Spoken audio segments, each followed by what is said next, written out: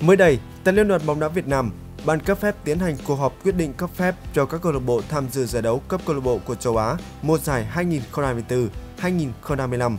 Cụ thể, ban cấp phép thống nhất quyết định cấp phép có điều kiện cho hai câu lạc bộ bóng đá tham dự giải cấp câu lạc bộ của FC mùa giải 2024-2025 gồm câu lạc bộ Công an Hà Nội và câu lạc bộ Hà Nội. Cấp phép kèm biện pháp phạt cho hai câu lạc bộ tham dự giải cấp câu lạc bộ FC 2024-2025 gồm câu lạc bộ Swam Nghệ An, câu lạc bộ BKMX Bình Dương. 3. Cấp phép kèm biện pháp phạt có điều kiện cho năm đội bóng tham dự giải cấp câu lạc bộ của AFC 2024-2025 gồm câu lạc bộ bóng đá Nam Định, câu lạc bộ bóng đá Đồng Á Thanh Hóa, câu lạc bộ bóng đá Hồng Lĩnh Hà Tĩnh, câu lạc bộ bóng đá Quảng Nam và câu lạc bộ bóng đá PVF Công an Nhân dân.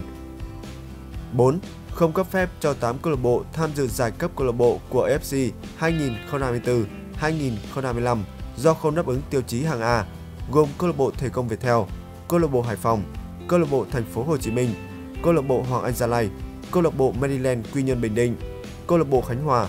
câu lạc bộ SHB Đà Nẵng, câu lạc bộ Trường tơi Bình Phước. Vừa qua, AFF đã thông qua về kế hoạch tổ chức giải đấu ASEAN Club Championship, giải vô địch các câu lạc bộ Đông Nam Á, hay còn được gọi là Cúp C1 Đông Nam Á mùa giải 2024-2025. Giải Cúp C1 Đông Nam Á 2024-2025 diễn ra từ ngày 17 tháng 7 năm 2024 và kéo dài đến ngày 21 tháng 5 năm 2025. Giải đấu có sự góp mặt của 12 câu lạc bộ là các đội vô địch quốc gia và cúp quốc gia đến từ 10 nước trong khu vực Đông Nam Á, ngoại trừ Đông Timor. Cứ mỗi khi hạ về, làng Bích Họa, Ngư Mỹ Thạnh, xã Quảng Lợi, huyện Quảng Điền, tỉnh Thừa Thiên Huế lại nườm nượp du khách tìm về khám phá.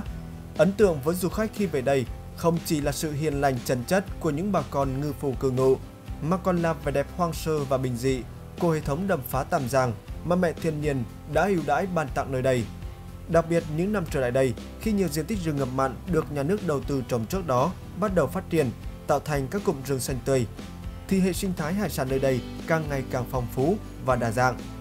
Về đây khám phá, du khách không chỉ được hóa thân thành những ngư phủ đích thực bằng việc tự mình đổ nò, mò ốc, đạp trìa, mà còn được tự tay chế biến và thưởng thức các món thủy sản mà chính mình bắt được ngay trên con đò đang bồng bềnh giữa mênh mông sóng nước.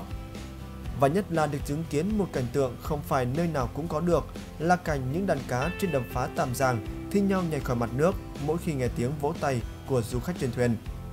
Hình ảnh giữa mặt nước mênh mông gợn sóng, cảnh hàng chục hàng trăm con cá lưng xanh biếc, bụng trắng liên tục lũ lượt nhảy khỏi mặt nước khiến nhiều du khách chứng kiến tận mắt cũng rất thích thú trải nghiệm rồi quay phim chụp ảnh lưu niệm. Cá không chỉ là nguồn thủy sản được bà con địa phương đánh bắt tạo thu nhập, mà vẻ đẹp sống động của những loài này khi nhảy khỏi mặt nước đã trở thành một hiện tượng thu hút du khách mỗi khi tìm về trải nghiệm trên đầm phá Tam Giang. Ngày 15 tháng 5, Sở Tài nguyên và Môi trường tỉnh Quảng Nam tổ chức giới thiệu nhà bảo tàng đa dạng sinh học cấp tỉnh đầu tiên trong cả nước. Bảo tàng đa dạng sinh học tỉnh Quảng Nam được xem là công trình bảo tàng đa dạng sinh học cấp tỉnh đầu tiên của cả nước, sau một số bảo tàng thiên nhiên và đa dạng sinh học cấp quốc gia và vùng.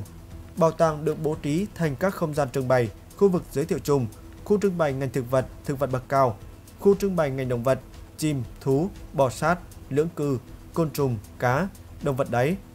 khu vực tương tác, phòng tư liệu, phòng nghiên cứu và khu vực lưu giữ, xử lý, bảo quản mẫu.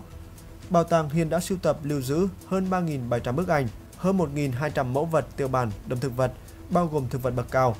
các loài chim thú bò sát, lưỡng cư, côn trùng, cá và động vật đáy thuộc 719 loài, 274 họ trên địa bàn tỉnh.